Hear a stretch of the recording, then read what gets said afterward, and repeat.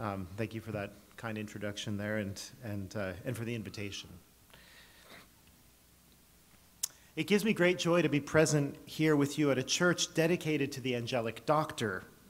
Discovering St. Thomas in senior year of high school, thanks to a great philosophy teacher, was a turning point in my life. It led me to go to Thomas Aquinas College, then to pursue graduate studies in Thomism at Catholic University of America, and finally to spend about 20 years teaching philosophy and theology ad mentem sancti Thomae, according to the mind of St. Thomas. The study of Aquinas disciplines the mind in, a, in such a way as to render it more receptive to and discriminating of the truth, wherever it may be found and whoever says it. So, those of you who are parishioners here, I know that wouldn't be all of you, but you have one of the greatest possible patron saints, and you should pray to him and ask him to send down heavenly wisdom on the church suffering. And by this, I don't mean the holy souls in purgatory though of course we are praying for them in a special way in this month of November. But the church suffering on earth from a tremendous eclipse of faith and reason, of fervor and religion, that can leave us feeling quite disoriented and demoralized. The angelic doctor is depicted in art with the sun as a shining disk emblazoned on his chest over his heart, emitting beams in all directions. It reminds us not only that he was illuminated for a special and universal mission, but also that the divine light is, in fact, never absent from us when we are living in God's grace, in his charity. We carry in us the light of reason, faith, and the Holy Spirit, by which we can walk confidently, even in the midst of dark nights and tempestuous times. I had thought of giving this talk a, different title the value of stable adherence or stable attachment to the Latin Mass. But the goal, in any case, would have been the same to explain to you, as well as I can in the limits of a lecture, the importance of stability, consistency, and good habits in the spiritual life, and how, in a very special way, the traditional Latin Mass is a superior home or environment in which to settle down spiritually and how it can even be harmful to be nomads who do not have a settled liturgical home. The inspiration for my talk comes from the holy rule of St. Benedict, to which, uh, which I have been reading for many years as a Benedictine oblate. The rule is divided into about 122 little pieces, so the whole of it is read three times a year by monks, nuns, and oblates. So you get to be quite familiar with it. It has become a familiar companion, but never ceases to challenge me and give me new things to ponder. Now, the rule makes a big deal out of what came to be called later on the practice of, and I would also say the gift of, stabilitas cordis et loci, stability of heart and of place. It means putting down your roots in this particular monastery, not gadding about from one monastery to another like the so called gyrovagues Benedict discusses in the opening chapter, of whom he says, quote, These spend their whole lives tramping from province to province, staying as guests in different monasteries for three or four days at a time. Always on the move with no stability, they indulge their own wills and succumb to the allurements of gluttony. Unquote. In contrast, the Cenobites, that is, monks who live in community as brothers, will help one another to achieve their ultimate destiny of heaven, which only the rarest can achieve as solitaries or hermits. Benedict says at the end of chapter 4 of the instruments of good works he says, But the workshop in which we perform all these works with diligence is the enclosure of the monastery and stability in the community. In chapter 58, the novice promises stability and perseverance. And when the time comes for his full reception, he or she, since we could also be talking about nuns, is asked, asked to promise in the oratory, in the presence of all, before God and his saints, stability the reformation of his life and obedience. In chapter 60, Benedict says that a priest who wishes to join the community can do so, provided he promises to keep the rule and personal stability. So you can see this is very much on, on the mind of, the, uh, of, of St. Benedict. It seems for the Holy Patriarch that there is something especially important about this vow of stability, of staying put, committing oneself to a place, a house, a community, a definite way of life. It is at the opposite end of the spectrum from what we often see nowadays a consumerist approach to religion, where people take samples of this or that spirituality from a smorgasbord of options. St. Benedict was drawing upon an already developed tradition of monastic wisdom. For example, St. Anthony of the Desert claimed that monastic perfection requires three things study of the scriptures, prayer, and stability. And not just monks or nuns, but all of us stand to benefit from these three things diligently pursued. Dom Hubert van Zeller, was Benedictine, English Benedictine, describes stability as, quote, interior constancy, the willingness to counter, both in the mind and in outward conduct, the restlessness which urges change, unquote.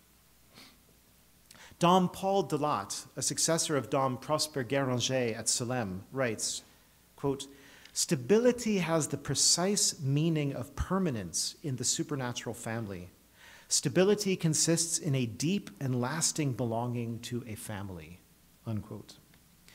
Although we may truly serve one and the same Lord and fight under the same king in any place or in many places, when we fix ourselves in suitable surroundings, we can serve him better.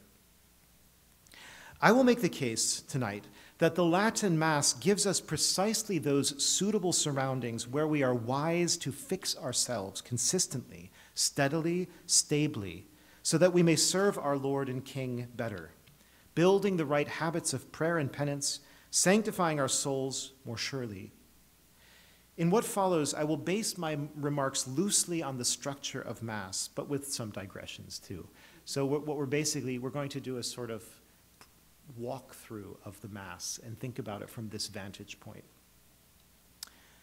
So, before Mass, we step into the church and we find it quiet. The people who gather at the Latin Mass do so to pray to Almighty God and to pray for themselves and for one another. They are there, as the Gloria says, to praise, bless, adore, and glorify Him, to give Him thanks, to beg His mercy, to ask for our needs. The spirit of recollection and meditation even if occasionally interrupted by crying babies who don't know any better and remind us of our littleness before God and of his love of human life. The spirit of recollection and meditation exists here and can thrive. The ancient liturgy itself, with its alternations of chant and silence, its sacred choreography, and its rich symbols, fosters our prayer, calms our mind, speaks to the heart, responds to us at a deeper level than words and gives us a peace that the world does not know and cannot give. The prayers at the foot of the altar begin, introducing a period of focused preparation before the priest climbs the steps to begin the Mass, properly speaking, with the introit or entrance antiphon. Without these prayers at the foot of the altar, we are less prepared than we should be for the Word of God and for the renewal of the holy sacrifice.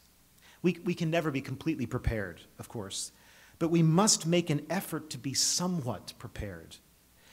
The traditional liturgy thoughtfully gives us the opportunity to recollect ourselves in repentance and fear of the Lord and humble dependence on His grace. Mass absolutely should not suddenly start at the chair in the sanctuary as if we've been dropped in by parachute. We have to climb up the hill and the steps to Mount Zion, as we read in the gradual Psalms beloved to the Jews on pilgrimage. The priest has now climbed the steps and walked to the epistle side to say the introit. From this point onwards, he will be practically tethered to the altar, as if by an invisible chain of love. The entire liturgy of the Mass, from start to finish, is the sacrifice of praise we offer to God, at the heart of which is found the sacrifice of Calvary. The priest's constant circulation around the altar and his decisive stance of prayer toward the east remind us that we are come here to worship God, not to transact any human business, however noble or necessary it may be. He is the origin of our being and the meaning of our life and the end of our journey. All is oriented to Him. There is no more fundamental lesson that the liturgy could ever teach us, and the Latin Mass teaches it powerfully, carrying us out of ourselves toward God without the serious distraction of the priest and lectors facing the people. By watching the priest perform his special office from a certain distance, the gap, as it were, between God's holiness and ours is emphasized, which paradoxically intensifies the fascination of his mystery. Never do we feel more in the presence of God than when we are, in a way, excluded physically from nearness or familiarity, while being liberated to surrender ourselves to prayer, which is actually what unites us to the invisible and the eternal. The priest recites the ninefold Kyrie eleison, Christe eleison, Kyrie eleison, in honor of the three persons of the Holy Trinity and the nine choirs of angels, in a dialogue with the servers who represent us. Most days he will recite the Gloria, beginning with a rising motion of the hands and bowing his head five times in humble acknowledgement of God. Then he comes to the mighty collect, the prayer that sums up the petitions of Holy Mother Church for that day. He bows toward the tabernacle, then says the prayer with hands raised. The age old Roman rite exhibits an obviously God centered and Christ centered orientation, found both in the common stance of the priest and people ad orientem, toward the east, and in the rich texts of the classical Roman Missal itself, in the order of Mass, as well as in its propers that change from day to day. As compared with the modern Mass, these ancient texts give far greater emphasis to the mystery of the Most Holy Trinity, the divinity of our Lord Jesus Christ, and the sacrifice of our Lord upon the cross. The prayers of the new Missal, when you study them, are often watered down in their expression of dogma and ascetical doctrine, whereas the prayers of the Old Missal are unambiguously and uncompromisingly Catholic. This missal, this old missal, is a pure font of Christian wisdom, not a committee product cobbled together by experts, adjusted to the real or imaginary preferences of modern man. Michael Fiedrowicz, in his masterful book, The Traditional Mass, makes just this point. Quote, the celebration of the liturgy in its traditional form constitutes an effective counterweight for all levelings, reductions, dilutions, and banalizations of the faith. Many who are unfamiliar with the classical liturgy and are acquainted only with the recreated form believe that what they see and hear there at the Novus Ordo is the entirety of the faith. Scarcely anyone senses that central passages have perhaps been removed from biblical pericopes, passages. Scarcely anyone notices if the church's orations no longer expressly attack error, no longer pray for the return of those who have strayed, no longer give the heavenly clear priority over the earthly, make the saints into mere examples of morality, conceal the gravity of sin, and identify the Eucharist as only a meal. Scarcely anyone even knows what prayers the church said over the course of centuries in place of the current preparation of the gifts, and how these prayers demonstrated the church's understanding of the Mass as a sacrifice offered through the hands of the priest for the living and the dead. Unquote. You see, the differences between the Old Mass and the New Mass are far reaching, indeed radical, as in going down to the root, and this at two different complementary levels. On the one hand, what we see and hear, the artistic or aesthetic dimension, what some refer to as smells and bells. And on the other hand, what the texts themselves say and do not say. This is more a question of content. If we look at the content, we find the kind of differences Fiedrowicz just described. The fullness of the Catholic faith in all of its doctrine, morality, and spirituality is found only in the traditional Latin Mass, this can be and has been demonstrated.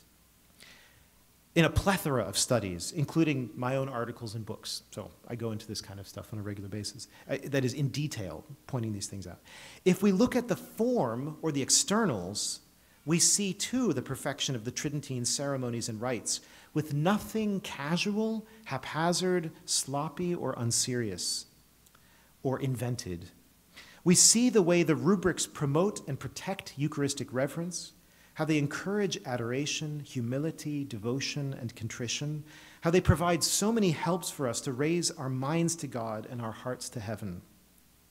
As I like to say, the Old Mass gives us so many pegs on which to hang our thoughts and prayers. This helps us to see, incidentally, that it is quite mistaken to say that the Latin Mass excludes the participation of the people Nothing more stupid can be imagined. And yet it was just repeated. It was just repeated by a certain man dressed in white back in July. And then, like the refrain of a monotonous pop song, got parroted again and again in all the coverage on Traditionis Custodes. There's no active participation of the people at the old Latin Mass, and Vatican II changed all that for the better. Good grief. There is no ignorance as profound as the ignorance of the ecclesiastical establishment talking about the liturgical tradition and the so called reform. On the contrary, the Latin Mass greatly fosters the meaningful involvement of the faithful by giving us more to enter into and more numerous ways to relate to it. As we continue through the Mass, we are given opportunities to worship with our bodies by kneeling for long stretches by making many signs of the cross, bowing our heads or genuflecting at certain moments. It is altogether more physically demanding, which is very good for us. Our senses are engaged by silence, music, incense, and regimented ceremonies. If we follow along in a missal, our intellects are given dense and nourishing prayers that we can meditate on for the rest of our lives without exhausting their meaning.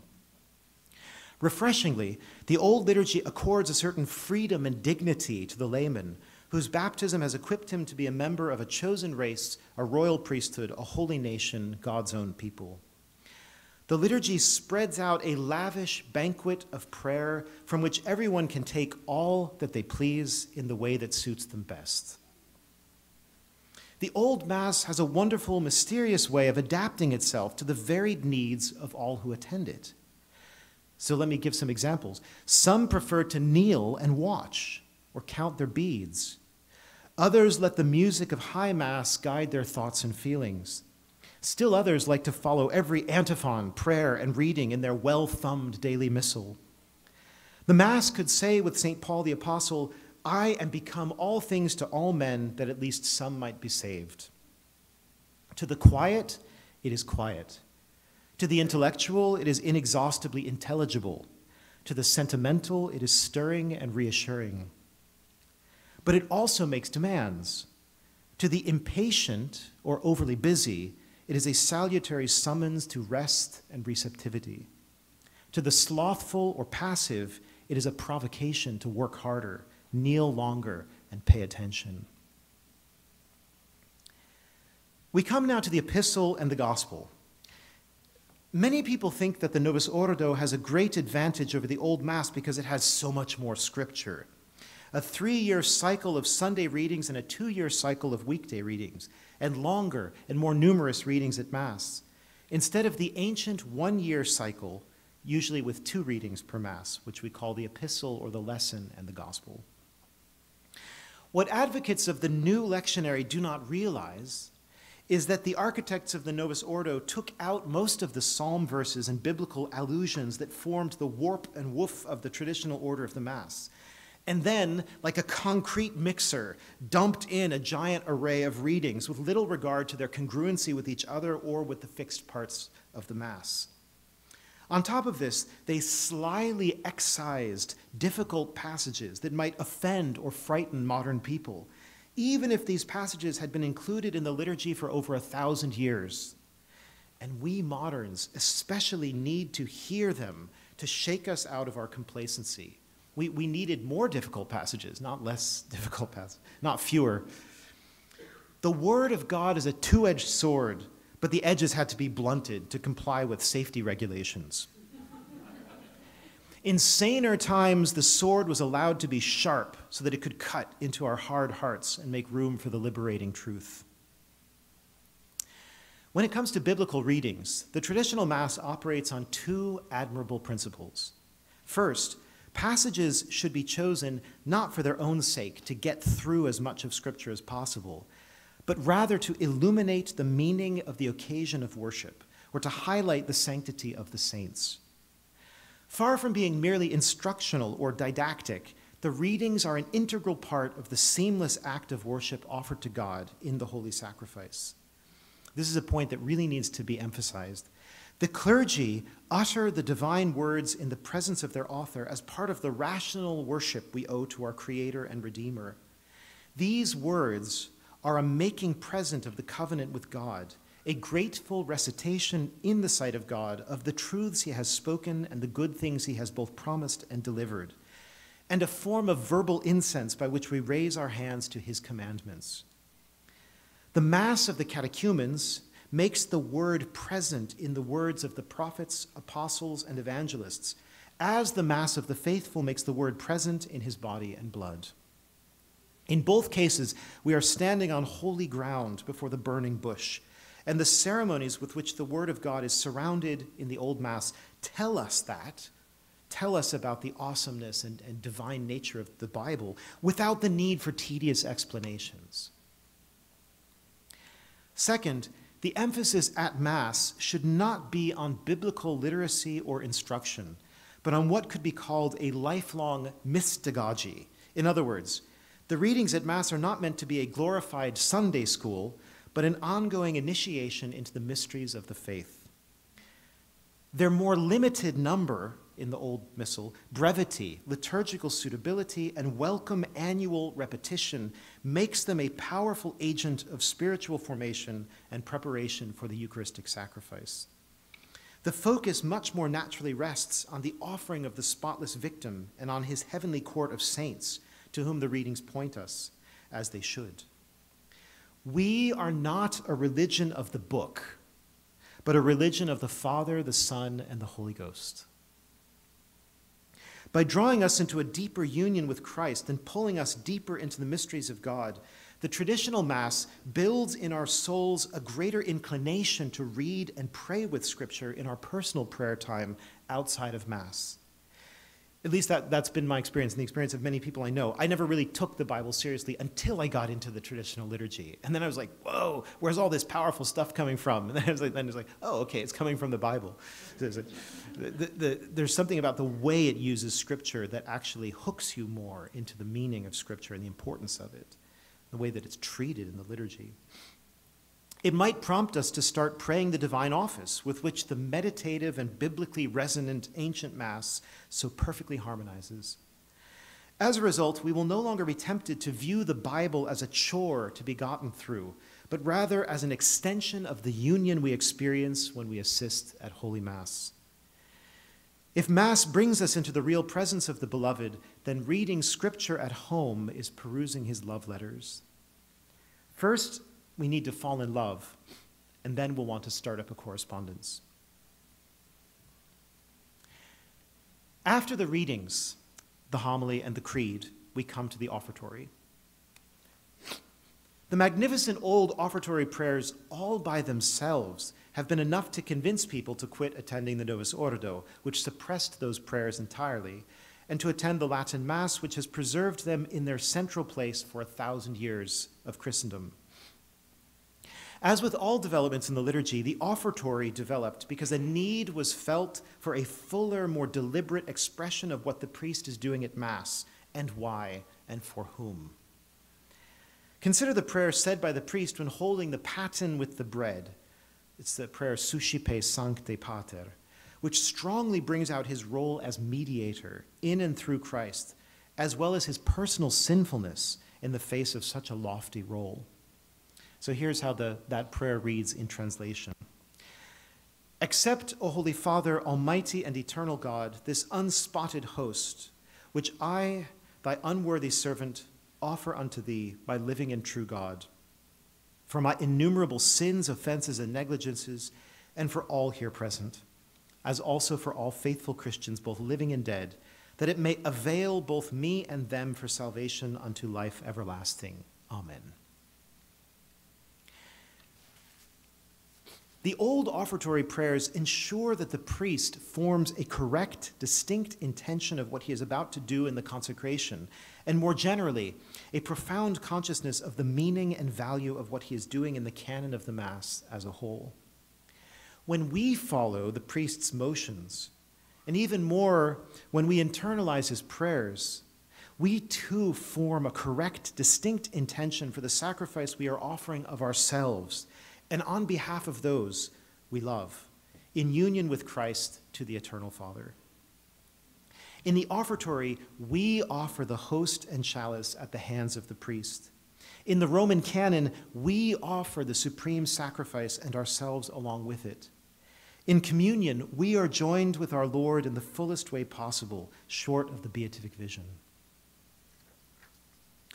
If you have never looked carefully at the offertory prayers of the traditional Mass, I strongly urge you to do so, and then to compare them with what is found in the same place in the Novus Ordo. The comparison is nothing less than shocking, and I do not use that, I do not use that word lightly.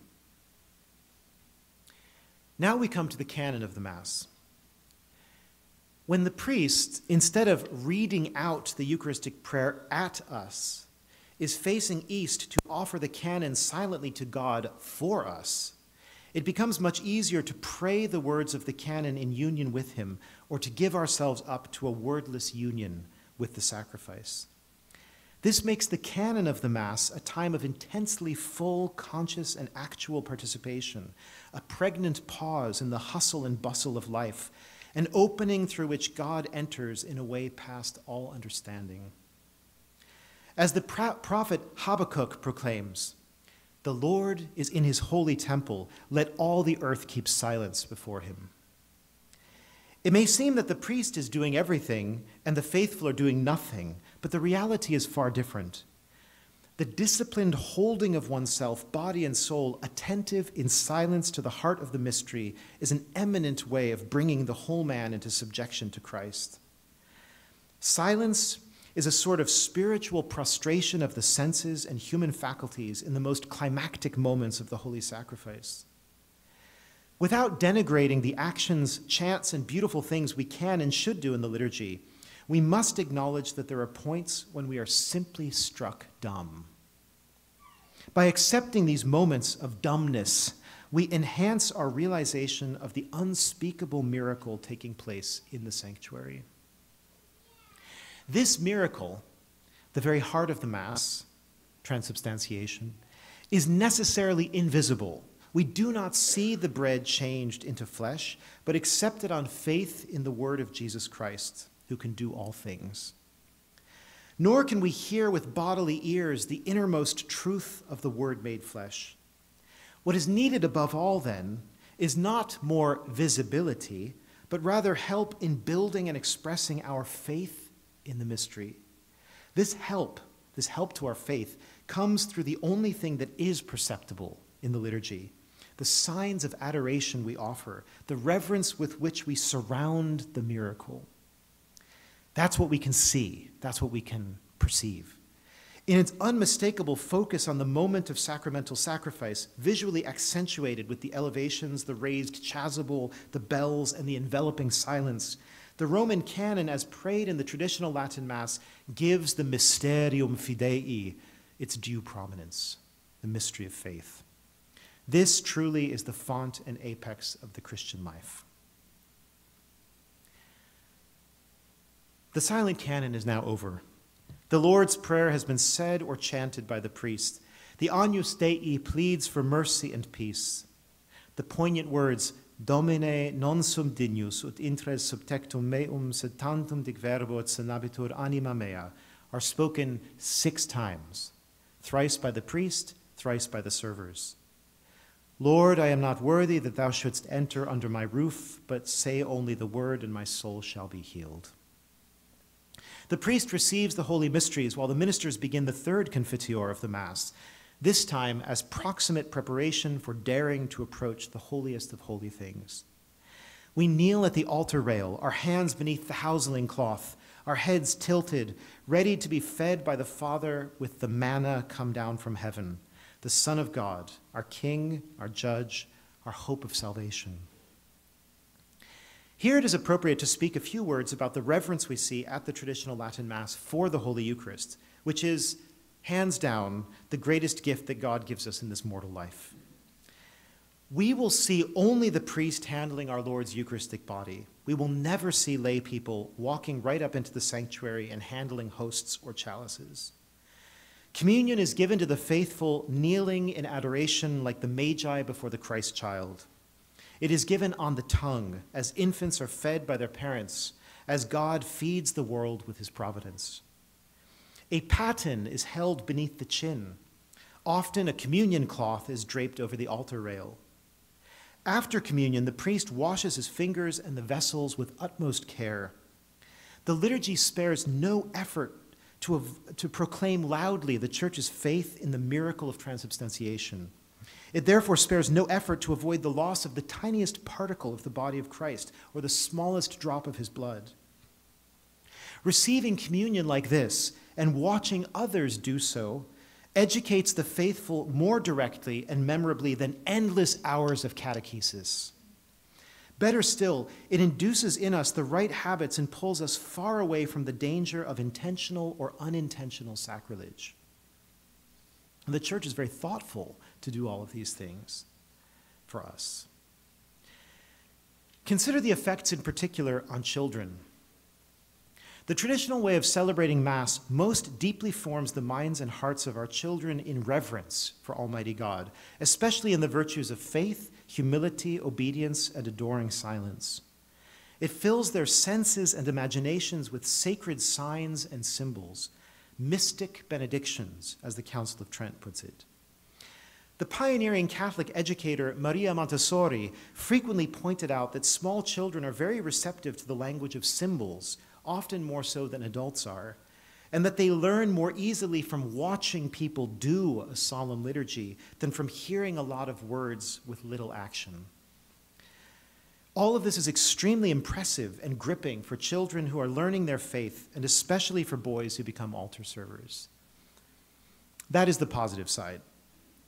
On the negative side, it is especially harmful for children to witness at the Novus Ordo, at least at some, not all, but most, unfortunately, the appalling lack of reverence with which our Lord and God is treated in the awesome sacrament of his love, as pew after pew of Catholics automatically go up to receive in the hand and standing a gift they all too often treat casually and even with a bored indifference. The church teaches that the Eucharist is really, truly, and substantially our Lord and Savior Jesus Christ. But then the majority of clergy and laity act in a way that says we are handling ordinary, though symbolic, food and drink. And bishops pretend to be astonished that so many Catholics have an essentially liberal Protestant view of what is going on at Mass, or eventually drift away into unbelief. They shouldn't be surprised. For us and for our children, the safe refuge is once again and always the traditional Latin Mass. Let the little children come to me and do not hinder them, says our Lord. Let them come into his real presence with utmost reverence. Let them behold him in the ministers he has chosen as other Christs to continue his work at their hands. Let the little children come to know the sight, the sound, the smell of holiness as they watch, listen, and linger in the house of the Father, while the words uttered and sung by countless saints are repeated to heaven's delight and hell's dismay. Let them come before the Lord in solemn joy to experience the peace that surpasseth all understanding.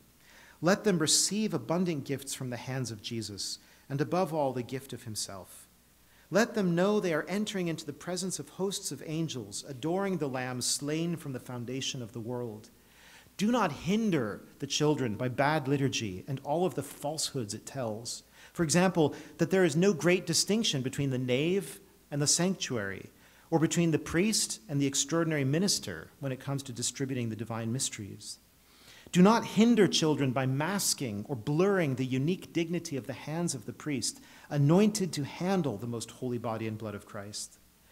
Do not hinder them from coming to the Lord by any of the deviations of the Novus Ordo, which is driven by a false theology that undermines the faith of children. And since we are all supposed to convert and become like little children, what is appropriate for their faith is, in fact, appropriate for ours. We shouldn't have to filter out little doses of poison. We shouldn't have to offer up the distractions, abuses, bad examples, crummy music, and lack of prayerfulness. Mass makes present the sacrifice of Calvary for our salvation so that we can honor our Lord with the best we can give him. It is not supposed to crucify our Lord with irreverence, mediocrity, banality, or heresy. Mass is given to us as a privileged time of communion with God, not as a time of entertainment or a nuisance to be gotten through or a battlefield of trials and temptations. I mean, we can have trials and temptations ourselves that we have to fight through, but the liturgy itself shouldn't be the, the cause of those trials and temptations, right? It's supposed to be an aid, not a, uh, uh, a, a, um, a punishment, right? Many of the reasons for persevering in and supporting the traditional Latin Mass can be summed up in one word mystery. The liturgical celebrations that bring us into contact with our very God should bear the stamp of His mysteriousness, His indescribable transcendence, His overwhelming holiness, His disarming intimacy, His gentle yet penetrating silence. The traditional form of the Roman Rite surely bears this stamp. Its ceremonies, its Latin language, its eastward posture, and its ethereal music are perfectly understandable given what it is, while instilling a sense of the unknown and unknowable, even the fearful and thrilling. By deeply fostering a sense of the sacred in an age of profanity, the Old Mass preserves intact the mystery of faith, and with it, the entirety of the Catholic faith. In an era of cancel culture, the traditional Latin Mass, the single greatest monument and embodiment of Western Catholic civilization, stands as a defiant affirmation of culture, which is rooted in the cultus or worship of the divine. After communion has been distributed, the priest returns to the altar to cleanse the vessels. There might be music or there might be silence. The Mass ends with the priest singing or saying the post communion prayer, giving thanks to God, imparting a final blessing on the kneeling faithful, and reading the sublime prologue of John's Gospel, a perfect summation of the meaning of what we have just done. The word that enlightens all men who come into the world, the word that enlightened us in the antiphons, prayers, and readings of the Mass. This word has become flesh and has indeed dwelt among us in our midst, full of grace and truth, and we have brushed up against his glory, touched the hem of his garment to be healed, even if we have not yet beheld him face to face. After the Mass is finished and the Leonine prayers have been said by all, or some music has been sung or played at a high Mass, an atmosphere of silence descends once more upon the church, but this time a silence that is filled with content like a sponge saturated with water, or like the rest after a time of concentrated activity. It complements and completes the expectant and respectful silence that preceded Mass. The end is joined to the beginning.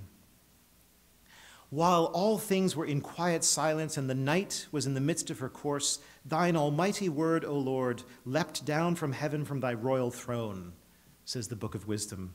That's the text of the introit for the Sunday within the octave of Christmas. The first coming of Christ was in humility. The second coming will be in glory and judgment. But in between, he comes to us in mystery, hidden under the forms of bread and wine, hidden in our hearts where faith is his entrance and love his welcome. Should we not fight hard and do whatever it takes to preserve this faith intact and to increase this love more and more. Having spoken about the Mass itself, I would like to say a few words about the shape of the Catholic liturgical year. One of the most significant differences between the traditional and modern missals is their respective calendars, which have all kinds of trickle down effects. In 1969, the Novus Ordo was rolled off the assembly line with a calendar very different from the Tridentine one, with the justification that this new calendar better accentuates the so called temporal cycle, namely the annual run through of the mysteries of Christ, beginning with Advent moving into Christmas, then Lent, and finally Easter, culminating in Pentecost. That's what's meant by the temporal cycle. Ironically, however, the traditional Roman calendar is far richer in its temporal cycle, giving more weight to certain key seasons, such as Christmas and the time after Pentecost, and featuring a number of special times that bring out more fully the meaning of each part of the grand cycle, such as the season of Epiphany, the period of Septuagesima, and the short Ascension Tide. All of these are absent from the Novus Ordo calendar. Instead of juggling a lectionary with multiple years, the old rite follows a strict annual cycle. In other words, each year you get the full array of that, of that year's Sundays and feast days with unchanging texts and chants. Thanks to this stable cycle, each Sunday has a distinct and memorable character, the annual recurrence of which makes it more and more familiar, so that, as I was saying earlier about the readings, it really becomes part of you as long as you're consistent in attending so that you can reap these lifelong benefits, these long term benefits. The traditional calendar has the poetry and the power to structure our secular lives, to become the framework of our lives, something I have never observed happening with the Novus Ordo calendar. And if I could make a little pitch here for a fantastic new product from Sophia Institute Press, you will definitely want to check out the Illustrated Liturgical Year Calendar, a set of 18 by 24 inch full color wall posters that are sent out every quarter in sets of four with exquisitely detailed and beautiful artwork illustrating every day and season of the traditional Catholic calendar. There's never been anything like it before. You have to check this out. It's, it's absolutely gorgeous. It will really help you to enter more fully into the church's year of grace. To be honest, I cannot imagine, so this is all for the traditional calendar. I can't imagine the Novus Ordo calendar inspiring the kind of work that this calendar is that I just described to you. Check it out, you'll see what I mean. In addition to its rich sanctoral cycle, which features over 300 more saints at Mass, it's a pretty impressive number, the Tridentine calendar has ancient observances like Ember Days, four times a year, and Rogation Days that heighten our gratitude to God and our appreciation of the goodness of creation. There is no such thing as ordinary time, a most unfortunate phrase. Instead, we have time after Epiphany and time after Pentecost, extending the meaning of these great feasts like a long afterglow. The traditional calendar has the pre Lenten season of Septuagesima, which, beginning three weeks before Ash Wednesday, deftly aids in the psychological transition from the joy of Christmastide to the sorrow and penance of Lent. Lent itself yields to Passiontide, when all images are covered in violet veils and the liturgy loses a number of its customary prayers, reminiscent of the stripping away of Christ's garments to humiliate him. Passiontide leads into Holy Week and finally the Triduum, where, in addition to the main liturgies, the haunting services of Tenebrae take place. After Easter and its octave, Paschal Tide culminates in Ascension Tide, followed by Pentecost. In company with Christmas and Easter, Pentecost, a feast of no lesser status or antiquity than Easter and Christmas, is celebrated for a full eight days, a full octave, so that the church may bask in the warmth and light of the heavenly fire. Like most other features of the Usus Antiquior, the aforementioned aspects of the calendar are extremely ancient and connect us vividly with the church of the first millennium and even the earliest centuries. Why did they take all of this away? There's no good reason for that at all. All this may sound complicated, the calendar, and in a way it is. It's meant to be we have to bear in mind that the historic liturgies of Christian peoples have always had features like this, like these. What is unusual is not to have a rich calendar of saints and seasons, feasts and fasts. The fact that so many books are now appearing on how to recapture the calendars of Catholics from the stranglehold of secularism and infuse positive Christian meaning into the rhythm of the year, I'm sure you've seen these, every publisher has these books now, is a sign that we have lost our religious and liturgical bearings and feel the need to recover them. The Catholic Church had already figured all of this out a long time ago. Our job today is to unearth the treasure buried through several decades of incompetent management.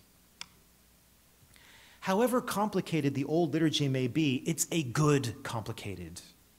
We don't have to try to master it, we just plug ourselves into it, like countless Christians have done before us. Once we do that, we actually do begin to understand it more, while at the same time realizing that all eternity is not enough to plumb the depths of the mysteries we hope someday to enjoy face to face. Returning now to stabilitas cordis et loci, stability of heart and place.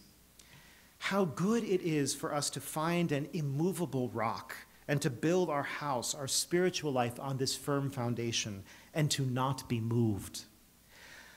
Of all the natural materials we know in the world, rock is the most firm, the most solid. It can serve as the foundation for everything else because it is stable and unchangeable, relatively speaking. Rocks are ancient. When all else is changing, they abide. This is why Scripture speaks of the everlasting hills and Mount Zion, which, like the Lord Himself, shall not be moved forever. Jesus Christ is the rock of the church.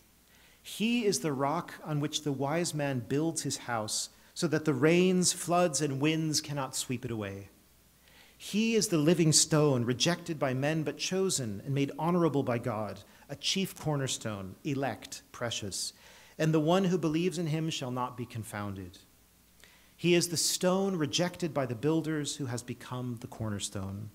He is a stumbling stone and a rock of scandal he is the spiritual rock from which the children of Israel drink their fill. The epistle to the Hebrews throws down the gauntlet to the cult of change. Jesus Christ is the same yesterday, today, and forever. As I hope my remarks have at least partially shown, the traditional Latin Mass partakes of the very same qualities. Obviously, the Mass has undergone organic change over the centuries, but the rate of change has always been slow, one might even say geological. And as the Mass reached its perfection in the High Middle Ages, the changes slowed to nearly a halt.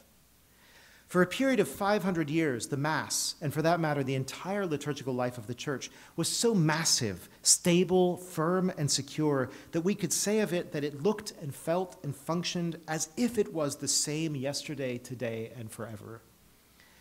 In spite of our 50 years of wild liturgical change that brought us innumerable novelties and countless casualties, the Old Mass has, by God's special providence, remained among us and year by year it has recovered lost ground. We have learned, to our shame, but not to our surprise, that it is impossible to build well on shifting sand or mud or water. But when we, like wise men, build on the rock of the Mass, the integral, authentic Mass, the unfailing garden of saints handed down to us through the ages in Catholic tradition, our house will be, will be stably founded and the rains of adversity, the floods of disaster, the winds of crisis, even the vengeful attacks of aged progressives nostalgically stuck in the 60s and 70s cannot sweep it or us away. The liturgy, like its Lord, is a living stone because it comes from the living God and brings his life to us. It can never be considered dead. It is, it is a spiritual rock from which the true Israelites drink their fill. The Tridentine Mass was the cornerstone, elect and precious of the entire liturgical life of the Roman Catholic Church.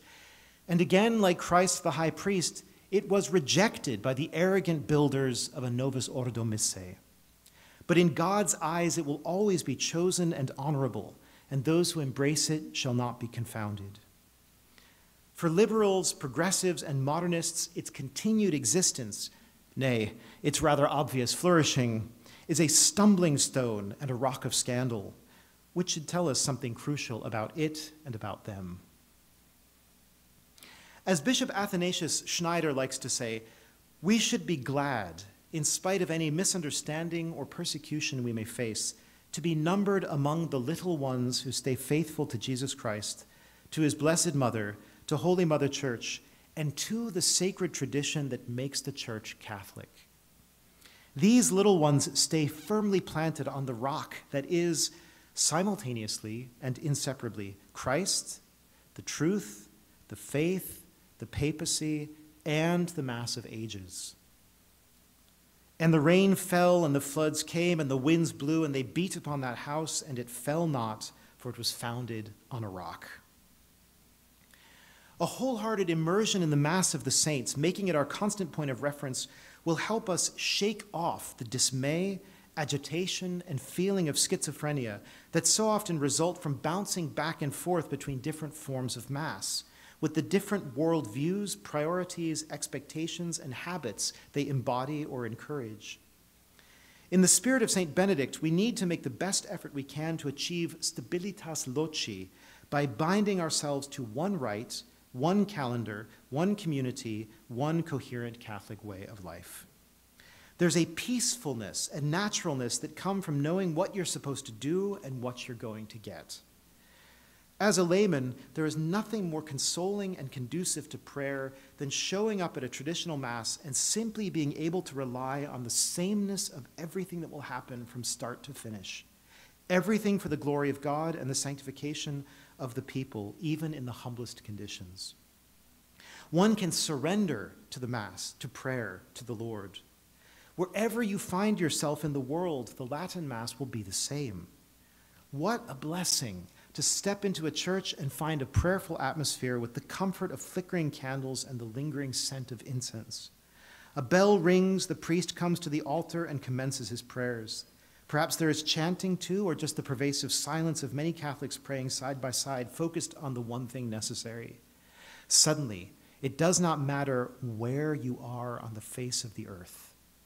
Deep down and all around, the Mass is the same, descending like a balm on all who are present. In contrast to the infamous optionitis of the Novus Ordo, its plethora of options, whereby each celebration, in the manner of a chameleon, takes on the color of the celebrant or the community, the traditional Mass is ever the same.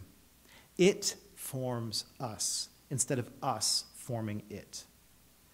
The Mass should never be at the mercy of a priest or held captive by a parish. It is a, it is a mystery far older, far younger, and far greater than we are, and we ought to subordinate ourselves to its pattern and power. Ours should be the attitude of St. John the Baptist, who said, He must increase and I must decrease. He, the Eucharistic Lord, must increase, and I, the ego of the priest or the collective ego of the people, must decrease. We should follow the excellent policy of St. John the Baptist and choose the Mass that will, that will intensify our union with the Lamb of God who taketh away the sins of the world. If we can do it, if the conditions of our life allow for it, we ought to make a decisive break with pluralism, excessive variety, options galore, and give ourselves simply, completely, and bravely to the traditional worship of the Catholic Church. We know that we are touching the seamless garment of Christ, handed down to us over the course of so many centuries, lovingly embellished by each passing generation. The traditional Mass is, in truth, a gift from heaven, one that we could never deserve, one that will never ever pass away as long as the world endures. It is time now for us to yield ourselves up to it and to know a peace that surpasseth understanding. Thank you for your kind attention.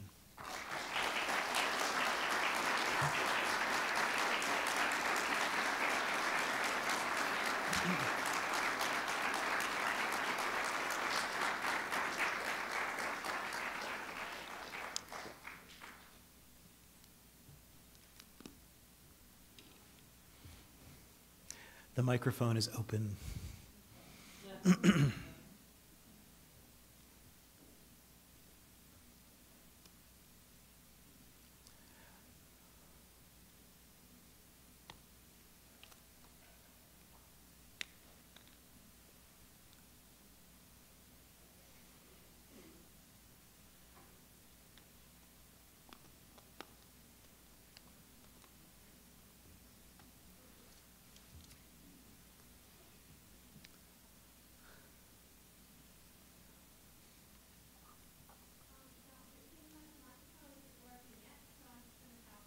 Sounds good.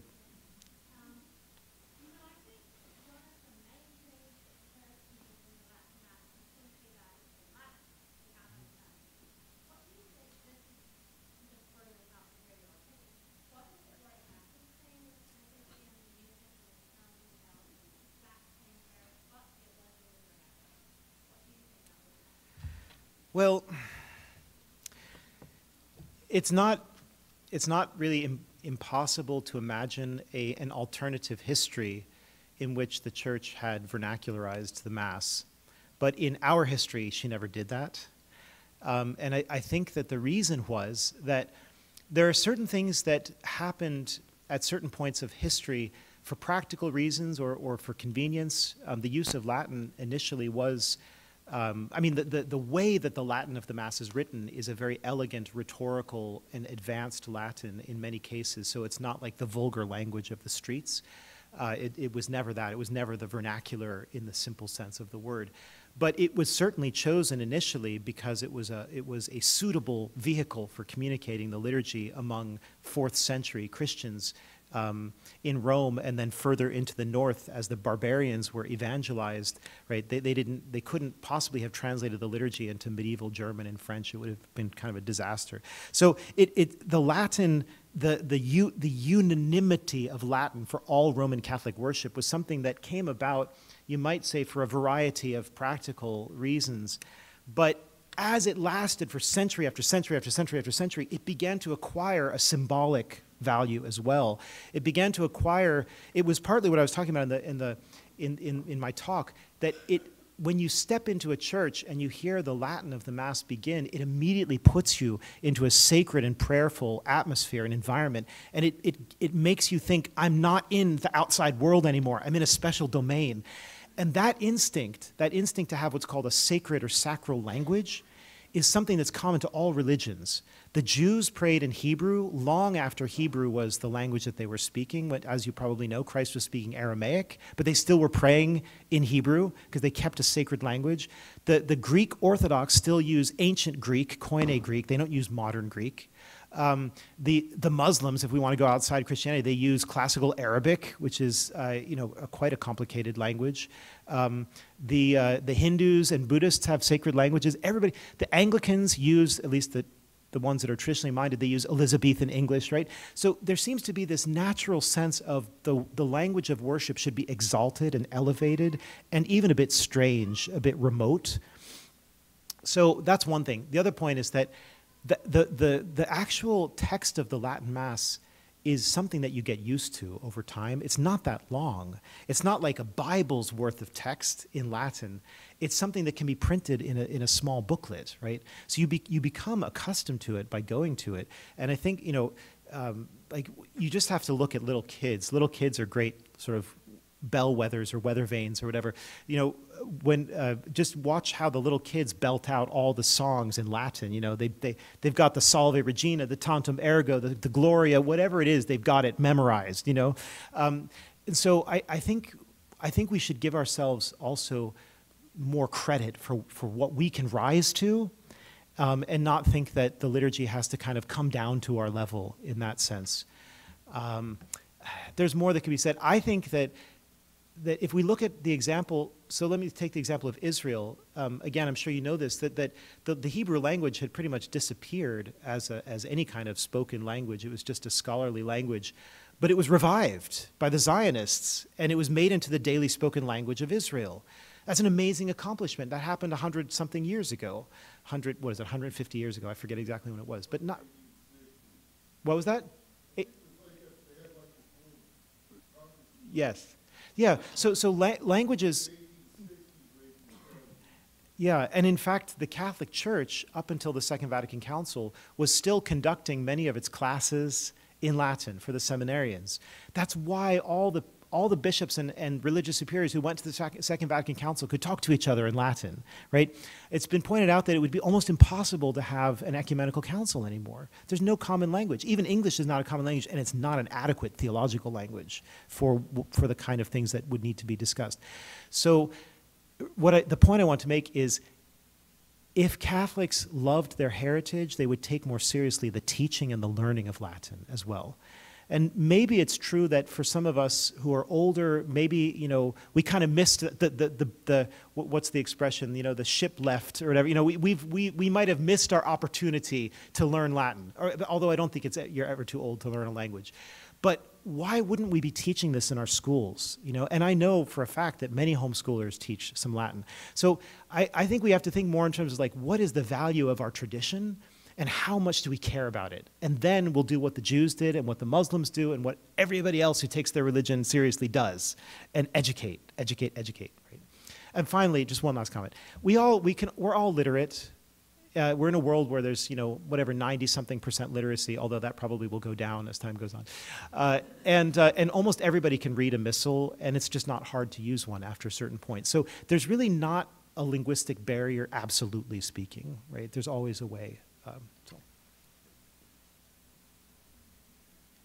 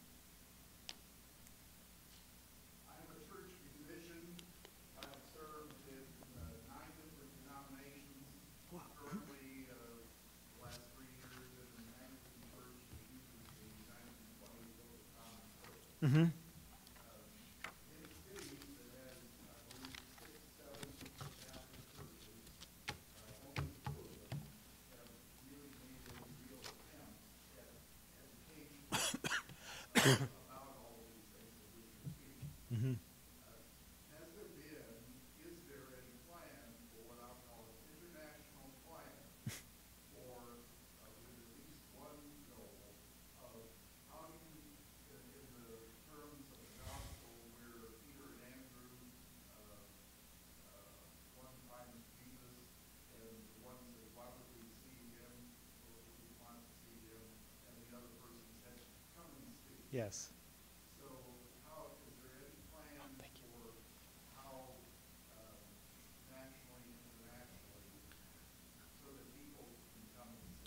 Mm-hmm.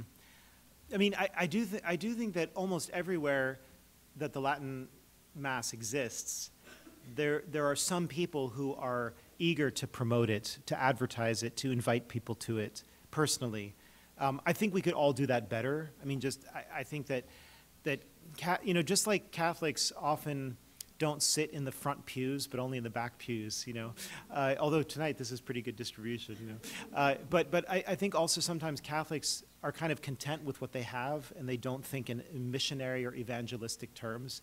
And we should be thinking in those terms. I mean, with with something like this. I mean, not not that we want to get on people's nerves, but just you know, gentle invitations and and encouragement um, to to come and experience the liturgy you know, and, and, just to tell people like, don't try to follow along with it. Just just watch, just absorb it. You know, just get a sense of how people worshipped for the whole history of the church until recent times. You know, so I, I do I do think that, but now we're in a, we're we're in an even more challenging situation because the Latin Mass movement has been organically growing now for well, for 50 years, actually, it's been a steady upward growth. If you, if you had like a chart of the number of masses that's been growing everywhere in the world, it's found in 92 countries right now. It's not just an American phenomenon or just a French phenomenon.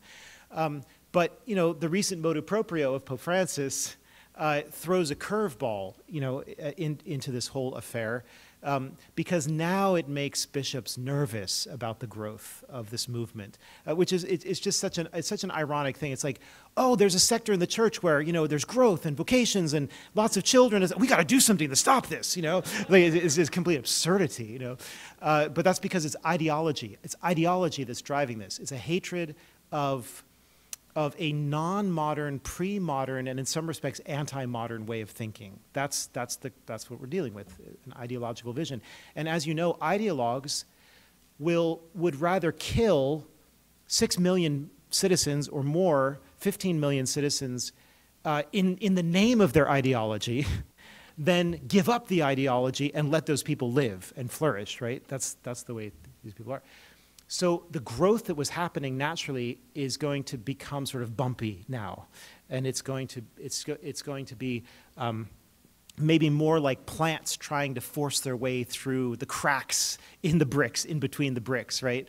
Um, so I just I'm just saying that because it's not as easy suddenly for us to say, hey, everybody, you know. You mentioned there are how many Catholic churches in the city? Yeah. So I would I can tell you for sure that if the motu proprio hadn't come out, that each of those parishes, as the years go on, would have the Latin Mass. That, that I, I have no doubt about that. Um, almost all of them would end up with it by this organic process, um, but I don't think that's going to happen right away. I think that's going to take more time now. So, thank you. You uh, touched on the ability of children in some circumstances. Um, what what are your thoughts on the trade-off of creating the ability of giving the family the daily mass, which necessarily includes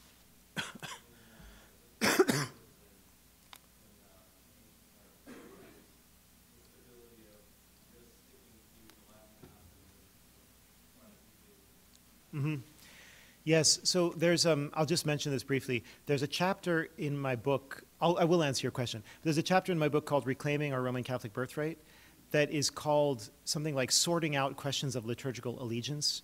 And I go into this, somebody had asked me the question, you know, ba- basically a similar question to yours, and I tried to give some principles for discerning what's the best strategy in, in that kind of situation. But what I what I have found in my own experience, so maybe I, I should just talk about that because I, I, at least I know my own experience, um, is that I was I was going back and forth for a number of years between the traditional mass and the Novus Ordo, actually for quite a few years, and I was providing music for both of them. Um, and it worked. It worked well for me for a while because I was really absorbed in the sacred music, in the chant and the polyphony, and, and so on, and therefore my attention had was kind of resting in the music, and the music was beautiful, and therefore the form of the liturgy mattered less to me. But a, as time went on, it began to, to kind of bother me more and more, like the, the really striking juxtapositions. And I wasn't even in a bad parish. Um, just some, some the more subtle things really begin to grate on you. Some of the things that I mentioned in, in my talk, like the calendar differences and things like that. So what I discovered is that it was actually more, it seemed to be more fruitful to me spiritually to pray the old office to go to the old mass and then on days when I didn't have access to it to pray something from the breviary. I mean, I try to pray something from the breviary every day, but uh, it, there are other forms of prayer that are nourishing. And sometimes Catholics have a tendency to put all their eggs in one basket. It's like it's the mass or nothing. Like it's almost like sometimes the mass is the only thing we do as Catholics. And that's actually part of the reason why it's been abused so much because nowadays whenever catholics are going to get together to do something they have to have a mass well there are a lot of situations where that's that's not appropriate you won't be able to do a good job a fitting job of, of that you know in the middle of a picnic field or something like that you know? um, so i think what catholics need to rediscover is they need to rediscover the liturgical prayer of the breviary the divine office the rosary obviously um, i mean the, the and uh, yeah no, singing at home you know some some people are scared about that but if, if you're but if you're open to singing and you enjoy singing you know singing some latin hymns before bedtime like compline i you know i used to chant and in my family we would do like a short version of compline in latin uh, and we did it for so many years that the, the, the kids were really upset if we ever skipped it and they knew all the latin stuff long before they knew what it meant you know? Um, so that's what i mean is that it's good to, to get creative and to think of other ways to pray that are more harmonious with one another, if I can put it that way.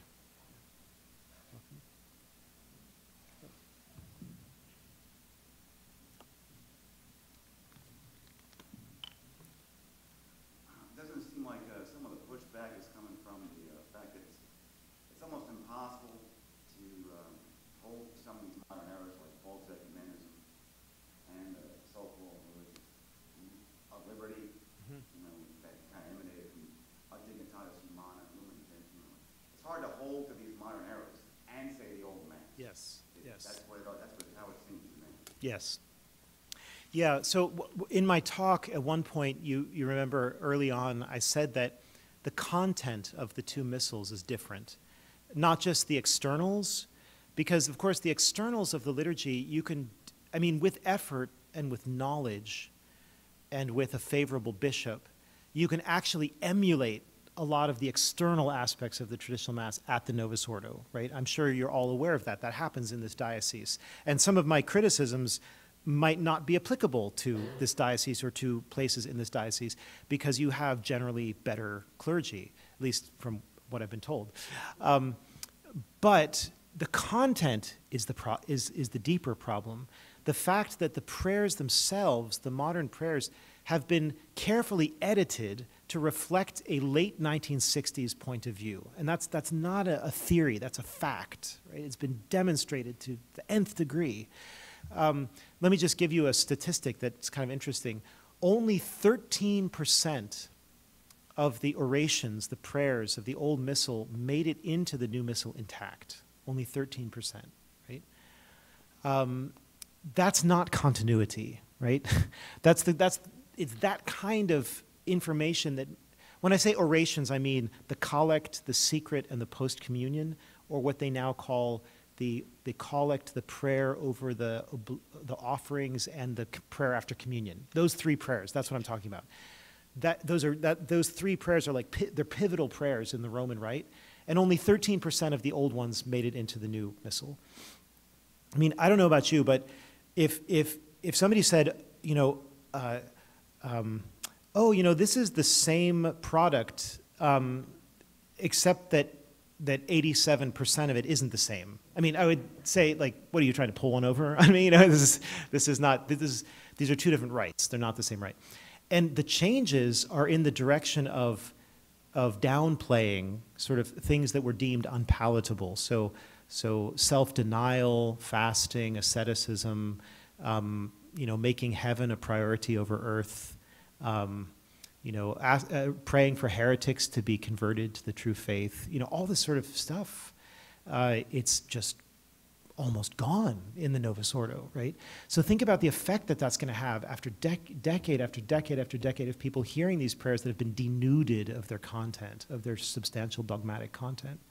Um, so yeah, so that, that's that's where you that's the kind of thing that really makes you realize that the, the, the, liturgical reformers are not our friends, right? Because, because nobody, Catholics, unless they were already pretty well educated and they were going to dig into these, and to study these things the way I've done and the way other people in the movement have done, you know, you could just go to, to church and go to mass and just assume that everything that's being read to you is just fine. And it's, of course, it's not only fine, but it's, it's got to be sufficient, right? I mean, it's a balanced diet. It's got to be a balanced diet. And then you discover that it's not. and, and, and what if you never discovered that, right? Um, so I think it's a, it's a serious, it's a really a serious issue. And I think, I think and that's why, um, that's why we need, we need to be really consistent. That's, yeah. Um, thank you. Um, so um, I'll try to frame this question, but um, so my first experience with the Latin Mass, I was a young man, maybe in my early 20s, and um, I uh, had a, a, desire to go to Mass that day uh, and was uh, falling away from the church at the time and trying to at least, and um, was struck with the need to go to Mass and not knowing it was Holy Thursday that day. And um, so I went, looked up the Yellow Pages, and went to the closest church. I was traveling across country and um, walked into a Latin Mass, didn't know it at the time. Wow. And I was uh, dumbfounded. I, I had, uh, could see there was a lot of monks at this particular abbey in Southern California, and their mouths were moving, and there was this sound coming out of their mouths. I didn't even know what that was called. And I was a cradle Catholic. I was 23 years old, Mhm. and I and I, I came away mad, Mm. like um, like finding a Rembrandt in the dumpster Yeah, yeah.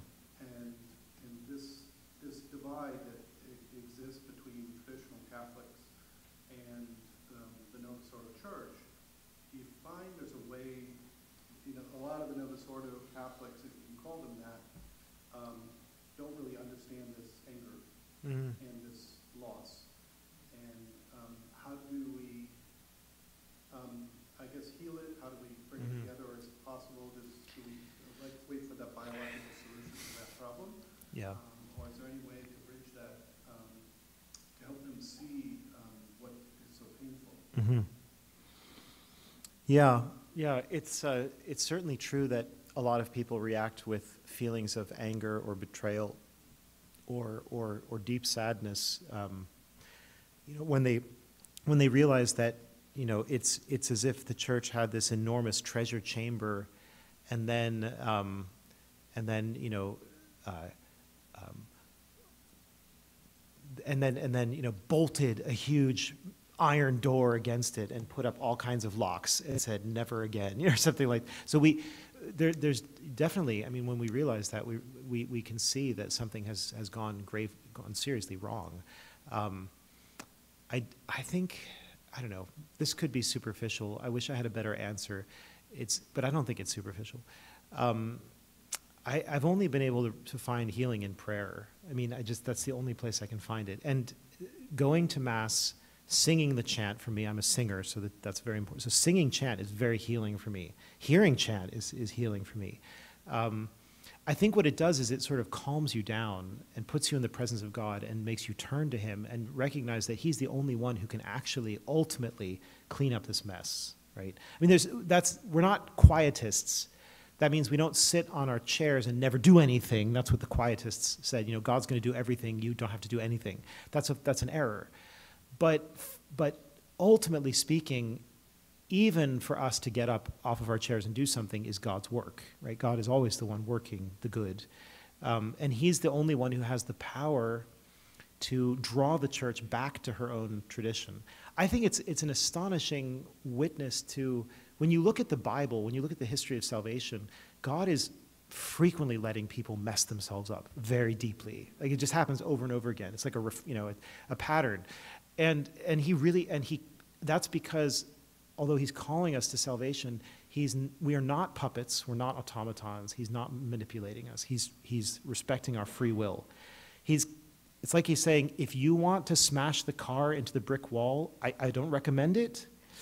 I really don't, but you, but you can do that, you know? And so that's, what, that's what's happened. The church, the church, I think in many cases for, with good intentions, the church in the 1960s got swept up in the, in the, the naive optimism of the post war period and really believed that a new world was being born, a world of dignity and peace and harmony and fraternity and all this stuff.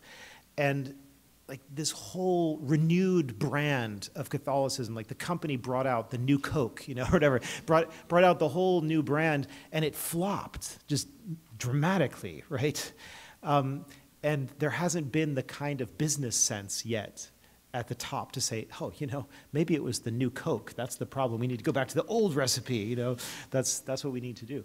But for those of us who've been given a grace, tradition, discovering tradition is a grace. It's a grace from God. It's not something that we merited. It's not something that was owed to us.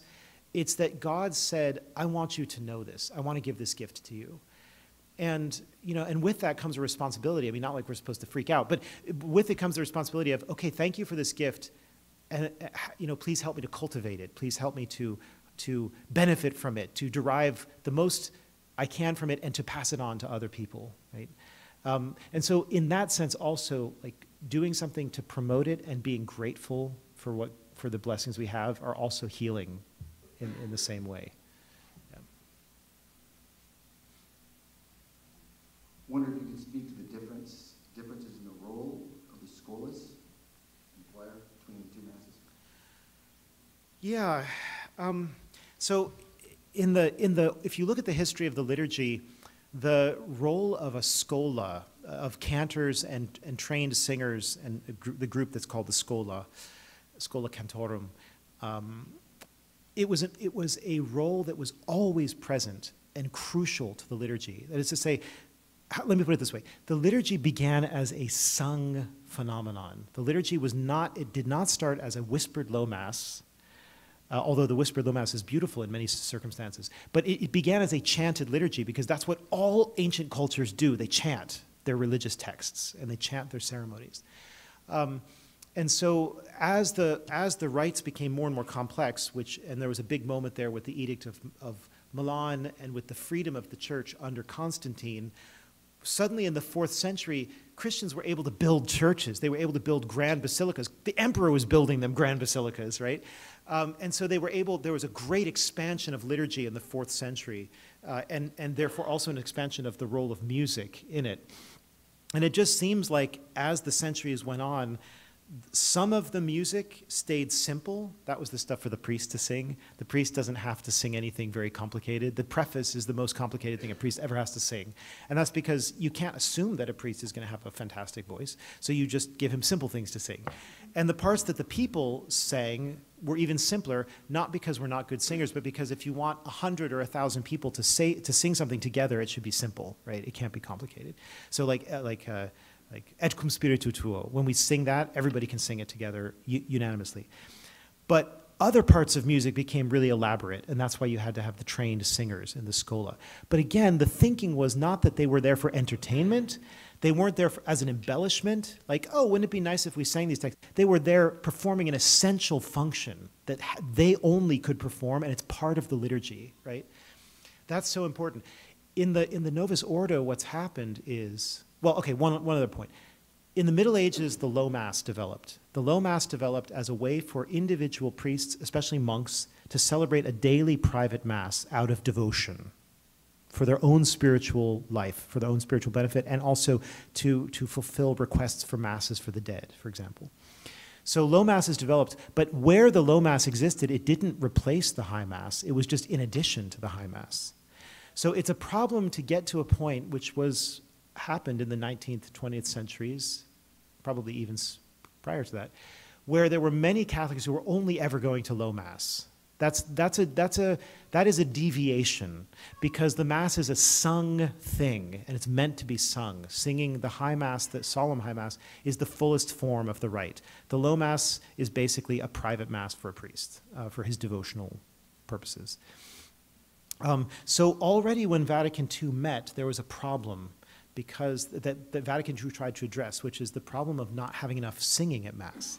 But what they did, or what they set in motion, was a process that just made singing at Mass just a bunch of ornamental stuff that you can add at different points, either to give the people something to do, or to, or to get a great choir to sing pretty things, but not things that are from the liturgy, but things that are just like sort of pious texts, but not from the liturgy. Um, so in that sense, optional. So a lot of music has become optional, and it's become, um, and it, you know, that's what I'm trying to say. It, it- it's not integral to the liturgy. Whereas in the traditional liturgy, there's music that's integral to it that you have to sing. And, and I'm telling you, as a musician, that's fantastic. It, it makes your life so much easier to know. I can show up, literally, I can show up five minutes before Mass. I don't even need to know who the priest is. I don't even have to talk to him. I know everything I'm supposed to sing, and he knows everything he's supposed to sing, right? That's beauty. That's, that's magnificent, right? With the Novus Ordo, you have to have like a powwow and say, like, what are you going to sing? What am I going to sing? But you know, all this, and you put up the numbers and. So I, I just, just say it's really, it's a profound difference in the conception of music. Yeah. And this will be our last question. Uh, So it seems that we're being pushed or in schism or headed that way. And I suppose we shouldn't worry or plan too much for it. But what do you say to this, this word of obedience? Mm-hmm. So how do we, where do we go? Yes. Yeah, so the, the first thing I would say is, is with Bishop Athanasius Schneider that it's not the faithful Catholics, the Catholics who are faithful to tradition who are the schismatics, but the modernists and, the, and the progressives and the liberals. They're, they're, the ones, they're, they're the ones who have removed themselves from the Catholic Church by not believing what the Church teaches. And I, I'm not exaggerating with that. I mean, there's a blog out there, well, I, there are several blogs out there where you can read this. Um, they, they openly dissent from the dogmatic decrees of the Council of Trent. Right? There's, it, the heresy is, is obvious at this point. Those people are not the ones who get to define what it means to be Catholic. Okay, period, basta, end of the story. Um, but as far as obedience is concerned, you know, obedience is a noble virtue that gets dragged through the mud by a lot of, of, of, uh, of fictitious uh, uses. Um, obedience is to be given intelligently, freely, conscientiously, with a clean conscience, with an upright conscience, based on the definitive um, uh, markers and principles that we have from Catholic tradition. So obedience doesn't exist in a vacuum. It's not just yes, sir, whatever you say, sir. You know that's what. But, it's it's the kind of obedience that befits the dignity of a rational creature and a son of God. And so obedience exists hierarchically. So everyone, so anybody who's a superior of you, himself has a superior. And that chain goes up to God. It doesn't stop at the Pope. It doesn't stop at the bishop or whoever. And it's, it's, God is at the, at, the, at the beginning of that in several ways. He is the author of the natural law, um, he is the author of the divine law, things that have been revealed. And in a certain sense, that's very important, he's the author of ecclesiastical tradition as well. Because every generation of Catholics prior to our time would have said that the development of the liturgy and the history of the church was the work of divine providence and of the Holy Spirit. It was not a bunch of human beings making tons of mistakes that had to be undone in the 1960s, right? So I think when you say, should we be obedient, you, you have to ask, like, what's the larger and richer context for that question? And that's what I just tried to sum up in just a few words, right? But I do actually, I have a little book coming out about, uh, in February from Sophia Institute Press, uh, about, it's called um, True Obedience in the Church, a guide for Catholics, a guide for discernment in challenging times, something like that. And if you, it's, it's an expanded, extended version of the talk I gave at the Catholic Identity Conference uh, last month, the beginning of October, October 2nd, I think I gave the talk. Um, and, and so that talk, the video of that talk is on YouTube, so you might want to look it up. But the expanded version of it, with lots of juicy footnotes about canon law and stuff, is coming out in February. So, so I, that's a really important question, and that's why it needs to be addressed. So, so thank you very much.